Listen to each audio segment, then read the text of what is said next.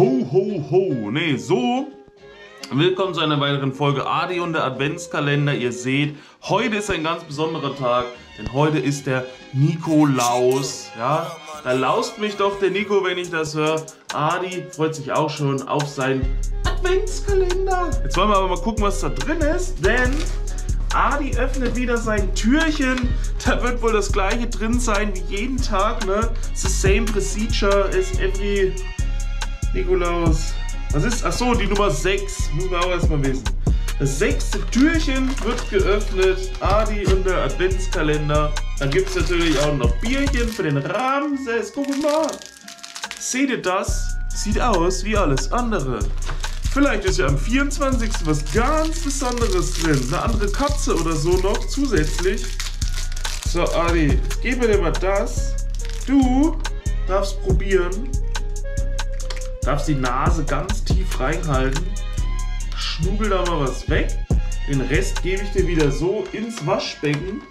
Oh, Vorsicht, nicht runterfallen. Das ist der Zoo Royal Kalender. Immer ein kleiner Snack für zwischendurch. Dann kommt der von euch gesponserte Kalender mit Spielzeug und Essen drin. Gestern war Essen drin. Ich gehe davon aus, heute gibt es wieder was zu spielen. Und heute ist ja auch der 6. Da werden die uns ja nicht mit Essen abspeisen. Ich suche vergebens die Nummer 6. Achso, die ist hier unten. Jetzt habe ich sie gefunden. So, machen wir mal die 6 auf. Und haben... Ach nee. Auch was zu essen drin. Da freut sich doch der Adi. Da kann er dann wieder brechen, wenn er zweimal Essen kriegt. Hier ist nämlich wieder so ein, so ein heftiges Tütchen drin. Das sieht schon richtig komisch aus. So richtig so, bah, so Hasch-Cookie-mäßig. Hühnerherz gefriergetrocknet. Gefriergetrocknetes Hühnerherz für Katzen. Vielleicht liegt es am Gefriergetrockneten. Das ist halt so. Naja, weiß ich nicht. Guck doch mal.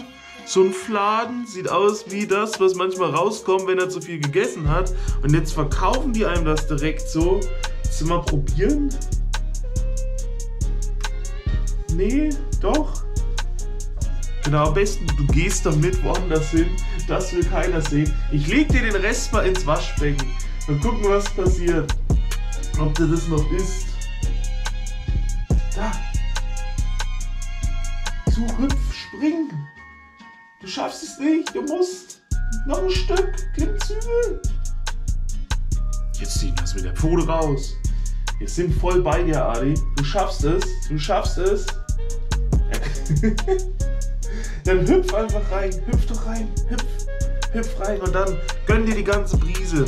Gefriergetrocknete Hühnerherzen am Nikolaustag. Das muss man erstmal. Das wäre nichts für mich. Wir kommen jetzt aber zum Bad Sender Bier Adventskalender für den Ramses.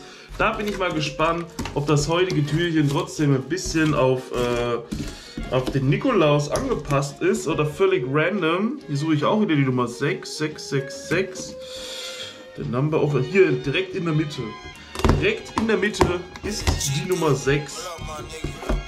Und ich sehe schon, das ist ja genial. Pass auf, wenn wir es jetzt wieder wegstellen, so wir stellen das immer hinter uns. Ah.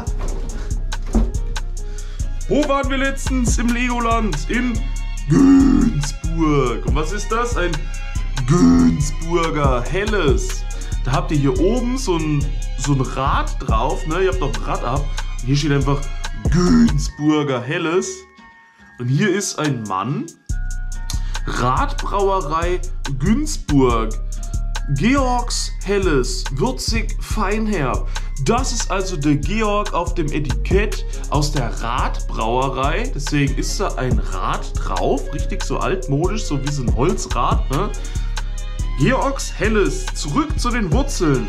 Als Georg Bucher im Jahr 1950 die Radbrauerei wieder eröffnete, braute er ein helles Vollbier. Wir haben die Rezeptur dieses Bierklassikers zeitgemäß interpretiert.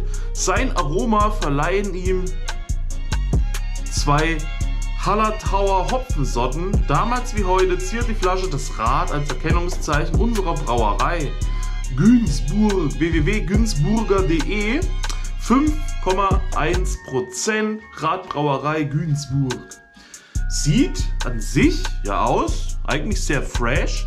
Ist halt sehr grün, aber ist so comicmäßig. Der Mann lacht mich richtig an, das finde ich schön. Hat hier einen Bierkrug in der Hand, steht hier vor einem Fass, hat hier noch so eine, äh, also ein Abtrockentuch über, über, über der Schulter hängen.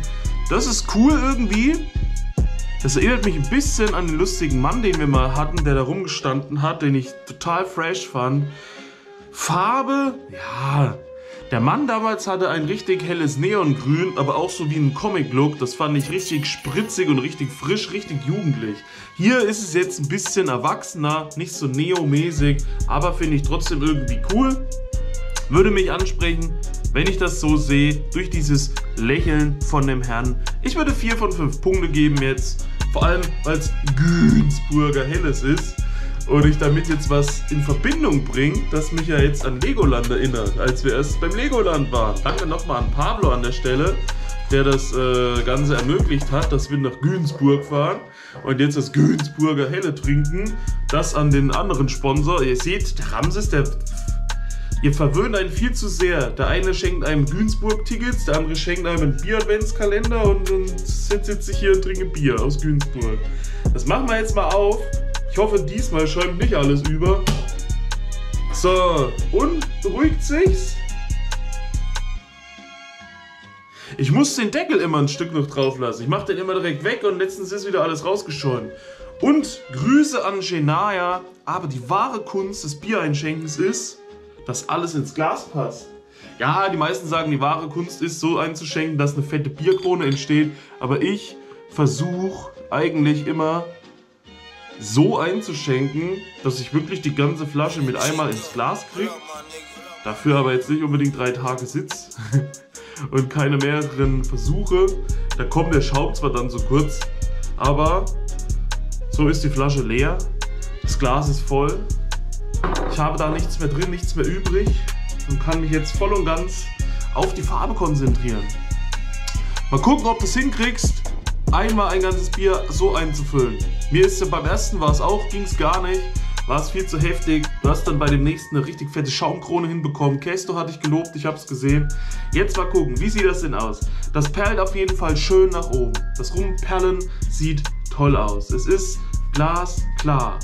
Es ist ein bisschen hell, aber es ist ja auch Günzburger Helles. Wenn wir das mal rumdrehen, vielleicht muss man es immer einmal so gegen das Dings halten. Seht ihr, wie hell das ist? Seht ihr die Farbe? Seht ihr, wie hell? Das ist glasklar, das sieht richtig toll aus. Jetzt habe ich alles verstellt hier. Mann, oh Mann.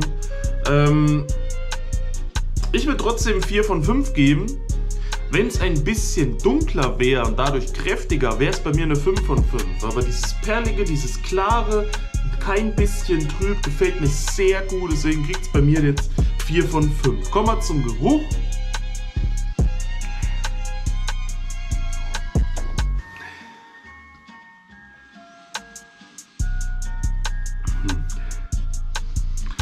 Bekommt bei mir, äh, kommt von mir 3 von 5. Riecht nicht unangenehm, riecht aber auch nicht besonders. Es ist, Geruch ist immer das Schwerste zum Bewerten, weil Geruch halt. Wer riecht denn bitte schön schon an seinem Bier? Die meisten trinken es doch einfach nur. Wer riecht am Bier? Keiner. Gut. So, probieren wir es aber mal. 3 von 5 für Geruch. Jetzt eine Kostprobe.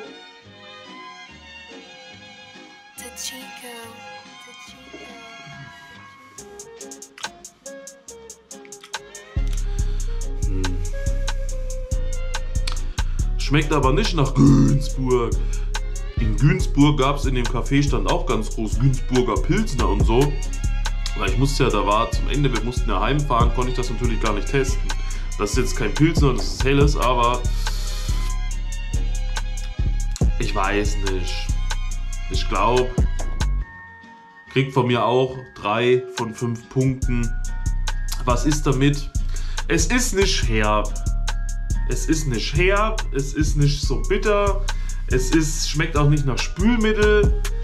Es schmeckt aber auch nicht so leicht oder auch nicht so würzig wie andere. Ich könnte es jetzt nicht so in großen Mengen einfach trinken und sagen, richtig, knallt rein, fertig. Du merkst schon irgendwas, ist wieder schwer definierbar. Aber ist für mich jetzt nicht der angenehmste Geschmack. Obwohl es gar keine bitteren Noten aufweist. So heftig, so irgendwie ist das. Ich weiß es nicht, ich weiß es nicht. Ich, wir hatten andere dabei, die gingen viel besser trinken. Die haben einfach gleich direkt mehr gemundet und wir haben auch viel schlechtere gehabt. Deswegen ist das für mich ein komplettes Mittelding beim Geschmack.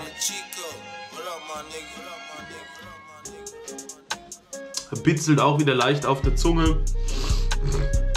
Trotzdem richtig coole Überraschung. Dieses Gönsburger von Georg, Georgs Helles oder George Helles. George Helles ist ja schon fast ein Zungenbrecher. Was sagt ihr, Georgs Helles, George Helles? Das war's von meiner Seite aus. Wir sehen uns beim nächsten Mal. Bis dahin, Peace out, Vorhaut, euer Ramses. Und Grüße an die Frau Wöllner, ja, die hier mehr Weihnachtsfeeling haben möchte im Video. Reicht das jetzt? Das ist doch Nikolaus, da kommt eine Mütze drauf. Peace out, Vorhaut, euer Ramses.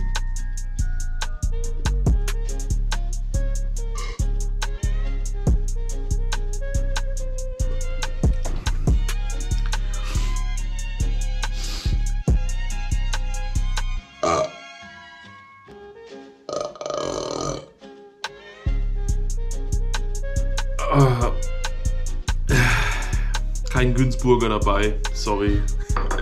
Oh, jetzt tut mir voll der Magen weh. Das meine ich damit, dass ich nicht so viel von dem auf einmal trinken könnte oder würde. So wie jetzt mein Magen gerade irgendwie, das hatte ich bei den anderen Biers nicht. Aber das liegt irgendwie trotzdem nicht am Geschmack, weil es ging ja trotzdem erstmal runter, aber irgendwie boah, löst das irgendwas aus. Ciao.